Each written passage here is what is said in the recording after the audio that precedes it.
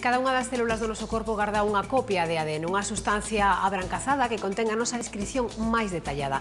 Ao longo do día desprendemos millóns de células e deixamos rastro por onde pasamos.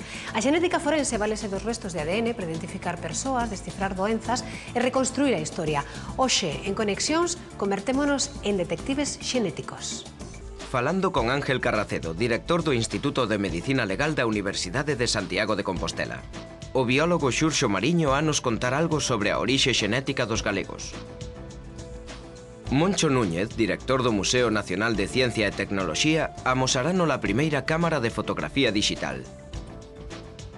Imos escoitar a opinión de Huicho, un dos blogueiros máis seguidos, sobre os rastros que deixamos na rede. E ademais, a análise xenética dos produtos que consumimos e a detección precoz de cardiopatías. Os domingos ás 3 e 20 conecta coa Televisión de Galicia.